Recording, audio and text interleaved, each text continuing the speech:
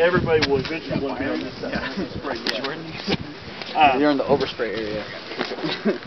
I'm gonna translate. Uh, disclaimer number one. This is not a paint class.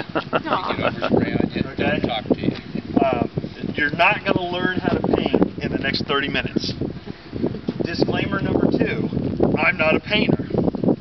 I have, I have painted airplanes. I've, I've done three or four of them before. I, I do all the tough chip work, but I do not consider myself a painter.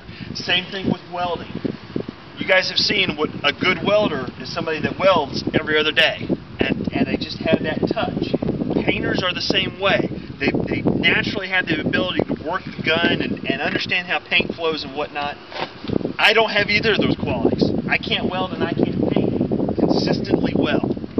So I'm going to show you everything I know, but what it's going to come down to is you pulling the trigger and you practicing.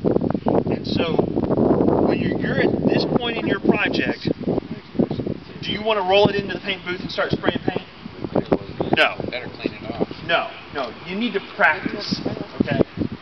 Get you an old panel. Find an old wing. Get an old door. Um, if you once you get used to spraying and, and how to move the gun and pull the trigger and, and how to set up the dials and get the right amount of flow and the right amount of air and whatnot, Right amount of light. Right amount of light. Uh, light is critical. Practice, practice, practice, practice, and then roll your project into the into the panel. Because here's the truth: you've spent two years, two months, a lot of time.